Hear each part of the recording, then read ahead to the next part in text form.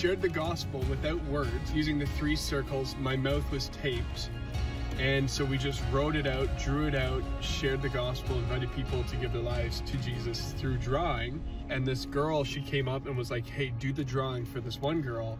Um, so I did, and then I was like, "Hey, is there anything stopping you?" Like writing it out, drawing pictures with again tape on my mouth.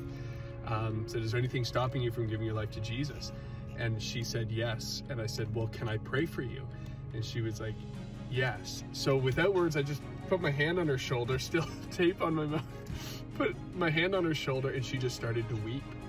And I just was asking God just to come and minister to her. Communicated to Sean. who came over and then just shared the full gospel and invited her to give her life to Jesus, and she did. You have, you have been made new. Can I share something to you from the Bible? It says this in 2 Corinthians chapter 5, verse 17.